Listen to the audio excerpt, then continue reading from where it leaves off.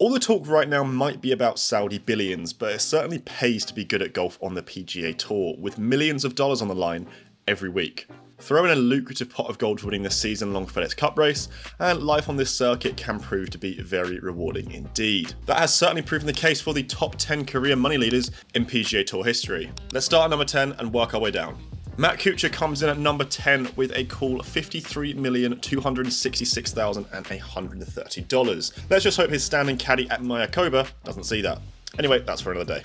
Kuchar has won nine times in total on the PGA Tour, with his first victory coming at the 2002 Honda Classic and his last at the 2019 Sony Open in Hawaii. It's fair to say Kuchar's best golf is behind him now at the age of 43, and he will no doubt be a little frustrated to have never won a major championship, having come so close down the years, especially when losing out to Jordan Spieth at the 2017 Open. Next up at number 9 on the list is Europe's all-time point scorer Sergio Garcia, winner of 11 PGA Tour titles and a current PGA Tour earnings of $53,826,259. A fresh-faced Garcia first burst onto our TV screens when running Tiger Woods close to the 1999 US PGA Championship. Garcia has gone years without tasting a major victory, going extremely close at both the USPGA and Open Championship, but the Spaniard managed to finally achieve his dream when defeating Justin Rose in a playoff for the 2017 Masters. It's fair to say Garcia has been one of the hotheads on the PGA Tour down the years, but since becoming a father in recent years, he certainly seems to have mellowed somewhat.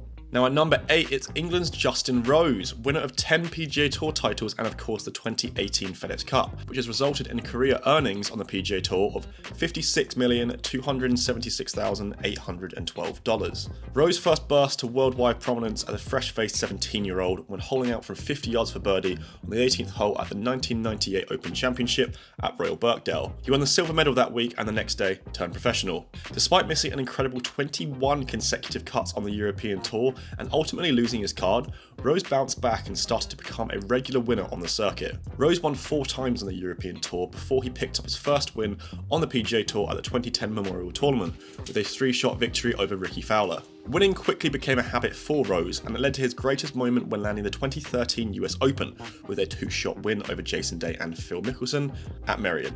At number 7 we have Australia's Adam Scott, the man with the smoothest golf swing the game has potentially ever seen. Scott, now 41, has accumulated a cool $57,424,999 on the PGA Tour, having won 14 times on the circuit, with his first coming back at the 2003 Deutsche Bank Championship. His greatest moment came at Augusta when winning the 2013 Masters, but if truth be told, we feel Scott should have won a couple more majors, none more so than when throwing away that claret jug down the stretch to Ernie Els in 2012. A man that needs no introduction at number 6 is Rory McIlroy, who comes in with $59,274,984 on the PGA Tour. Despite doing just about everything in the sport, getting to world number 1, winning 4 majors and clinching 2 FedEx Cup titles, you could argue that McIlroy has seriously underachieved in his career, and no doubt many of you would agree. McIlroy is still only 32 years old, so has plenty of time on his side to slip on that green jacket he so desperately craves in order to join an elusive group of players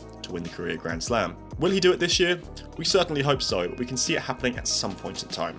We also fully expect to see Rory end up moving quickly up this list. At number 5, we have the big Fijian Vijay Singh, winner of 34 PGA Tour titles, including 3 majors and the 2008 FedEx Cup. Now 58 and applying his trade on the PGA Tour champions, Singh managed to chalk up a huge $71,236,216 on the PGA Tour.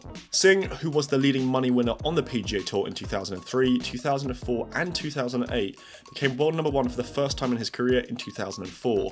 In at number 4, we have Jim Furyk, winner of 17 titles on the PGA Tour, including the 2010 FedEx Cup. Furyk might have one of the most bizarre golf swings we've ever seen, but it has certainly worked down the years and it just goes to prove there is no one way to play golf. Let the American be an example to many of you out there. Furyk has won $71,507,269 and is the only player in PGA Tour history to shoot 58 in competition, and he's also shot around 59.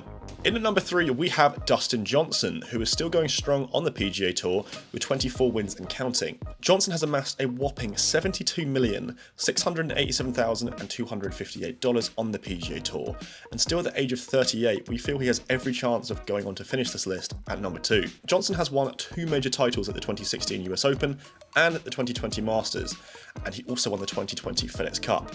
We can see Johnson easily winning more than 30 times on the PGA Tour before all is said and done, and that would more than likely see him surpass the $100 million mark in career earnings. At number two is perhaps one of the most controversial figures in all of golf right now, Phil Mickelson.